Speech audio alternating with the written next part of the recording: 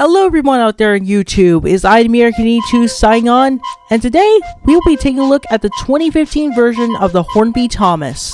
Now I bought this guy at the beginning of the year because I wanted to try adding some more of the Hornby's Thomas models to my collection. And originally I didn't want to do a review on this because there's already been a lot of reviews on the Hornby Thomas, but I just couldn't resist voicing my own opinions on these types of models as I've actually had a soft spot for newer models that were made from 2015 to 2018. So, what is there really to say about this nearly 10 year old model? Well, Starters is a very accurate representation of the LBSC E2s, which Thomas is based on. Being an updated version of the original Hornby Thomas, it also has a much brighter blue, which, in my opinion, is much better than the darker blue on the original. The face is very nice as it looks nearly close to Thomas's face seen in the model series. Two interesting things I like about the 2015 Hornby Thomas are the fact that Hornby actually gave it a gray running board, as the original had a blue running board, just like the rest of the model. Although the only flaw about this is that it's only at the front of the model and not all the way around. But this could mostly be due to the body being molded with the running board. The second interesting thing about this model is that Hornby later updated it with a lamp that's very accurate to the lamps seen on the show. And it looks way much better than the lamp that Bachmann gave to their Thomas when they first started.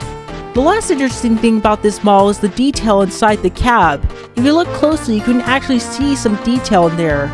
Though sadly it's all the same color as Thomas so it can't be seen that well.